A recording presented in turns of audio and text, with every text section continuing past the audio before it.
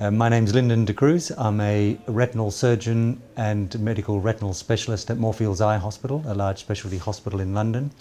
I have uh, trained in retinal surgery and research into severe vision loss and its treatments over the past few years.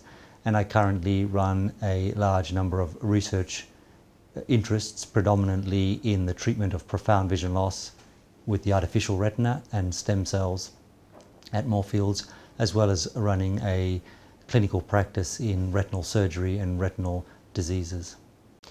For people who have conditions that are untreatable, it escalates to a very powerful area because I think it's difficult for someone who's well sighted to realize how frustrating it is to have a problem, especially a profound vision problem, where for years and years and years you hear the mantra, I'm afraid you've got X or Y, and there's nothing we can do about it. This is an extremely difficult thing to cope with. No matter how well you cope with it, no matter how well you deal with your life, you're always wanting a, a change in that. And so when something like the Argus 2 trial comes along, the ability to take a group of people who've lived for decades sometimes with the understanding that there's nothing for them, there's no hope for them, there's no treatment, it's too severe, there's nothing for them, to, to finally discuss with them that there's a chance that we may be able to help them is quite an extraordinary moment. I think as a human interaction, it's very powerful. As a, as a doctor, where your primary interest is in people and helping them, it's a very important time.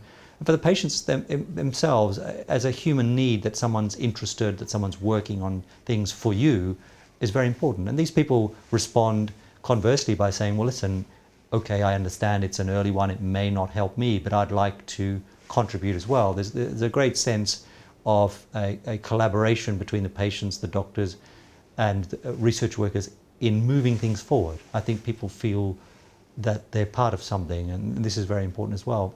So, and I think this comes into your practice. I mean, people with profound vision loss walk into your practice, uh, and they are extremely excited when the they're always expecting to hear, "There's nothing for you. I'm afraid you've got this," uh, and they always leave with saying, "Well, I thought I'd just come and check just in case."